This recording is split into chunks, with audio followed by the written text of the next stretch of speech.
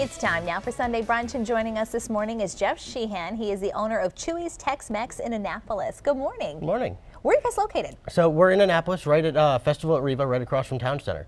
Um, it's a great location, built a beautiful patio, and absolutely beautiful restaurant. You have a very extensive menu, and this that you're making this morning is one of your top favorites. Well, it is. Uh, you know, we thought with it getting cold, the perfect thing for everybody is, is soup. Oh, uh, we've, yeah. we've got a fresh homemade tortilla soup that's absolutely delicious.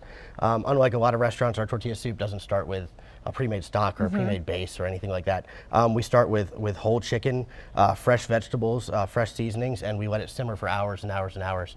Um, so we've got, got a little bit of a base going so already. So it's absolutely fantastic. and just Um, in the so- pot, you literally put it in the pot we- the way we- it looks we here on the literally plate. go right in. I would be careful with the chicken. It might make a little bit of a splash with that all hot right. water. That's okay. So I'll hold it for you. Always like to grab those tongs there and go nice and gentle Okay. there.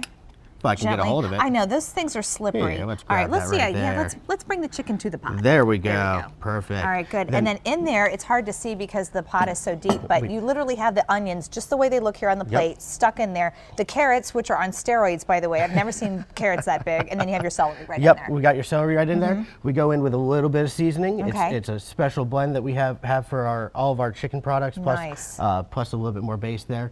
Uh, give some beautiful garlic, thyme, um, you know, some more so more. Fresh herbs. Um, absolutely delicious. Um, it legitimately stays in a pot like this for for just hours, so, sitting on a slow simmer, bringing out beautiful flavors. Um, the aroma in our kitchen every day when we make this is absolutely delicious. This smells so good. How long would you actually leave it to sit there to get that nice stock? Uh, to, we, we do it until the flavor is right. We it- Mm-hmm. Some, sometimes it'll be you know three hours, sometimes it'll be five. It all, it all depends on you know when we get the right quality out of it. But it goes back right in.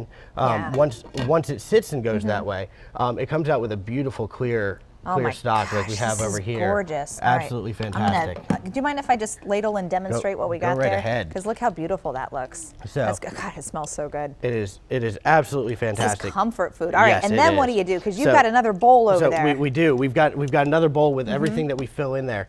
Uh, with this, what we're putting in is uh, instead of the chicken that we actually boil in here, uh, we actually put in fresh roasted chicken. Oh, Um, that way you get a beautiful texture What out do you do with that well. chicken? Um, that that chicken actually um, be, becomes uh, Mm-hmm. you know trash, unfortunately, because it, it, it Sinful. uh, well, you know we want we want that fantastic texture. We want the extra flavor of the Okay. roasted chicken as well. Um, All right, so you're gonna put that in So there. Mm-hmm. with that, we go with uh, some jack cheese. Uh, we go with yeah. our fresh roasted Anaheim chilies. Right. Um, we've tomatoes and some fire roasted corn as well. Mm-hmm. Oh my gosh, it so smells so absolutely delicious. So actually. Mm-hmm. if you want to go ahead and ladle, Ladle. some of that right in there. I will do that for you. You got it.